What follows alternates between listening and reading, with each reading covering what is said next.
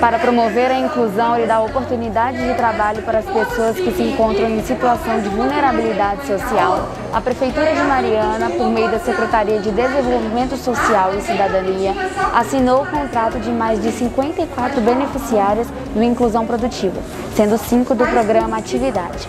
O programa oferece apoio institucional às unidades familiares, que são chefiadas por mulheres em situação de vulnerabilidade social, com vistas à capacitação para o trabalho, auxílio econômico e a promoção da dignidade e do desenvolvimento humano sustentável. Além da oportunidade de trabalho, as beneficiárias têm a oportunidade de participar de projetos como salão e padaria escola, oficina de corte e costura, além da oportunidade para continuidade e conclusão dos estudos.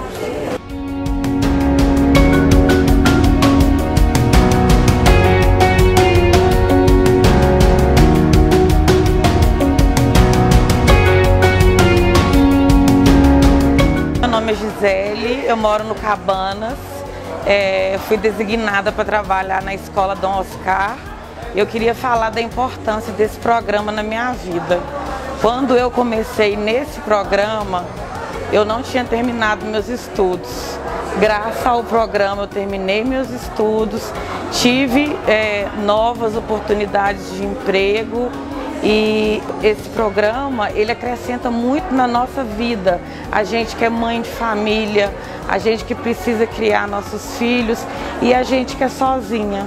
É um apoio, é uma ajuda e, e nos faz engrandecer e faz nos crescer também como pessoa. Eu só tenho a agradecer a oportunidade.